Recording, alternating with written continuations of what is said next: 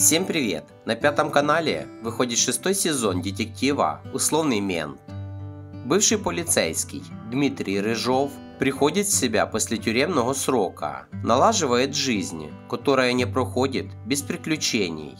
Находясь на руководящей должности в местном жилкомплексе, он успевает попадать в различные ситуации вместе с коллегами и лучшим другом детства Герой Конюховым который пытается избавиться от материнского контроля, но так и остается маменьким великовозрастным сынком.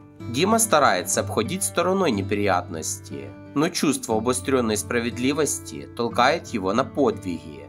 Имея опыт в расследованиях криминальных случаев, он помогает участковой Арине Гордеевой, у которой также не ладится с личной жизнью. Ей улыбается удача, когда на пути возникает чиновник из администрации, которого приходится выручить из разборок с криминалом. Рыжов строит счастье с любимой женщиной, но неожиданно возвращается бывший муж, решив побороться за общего ребенка.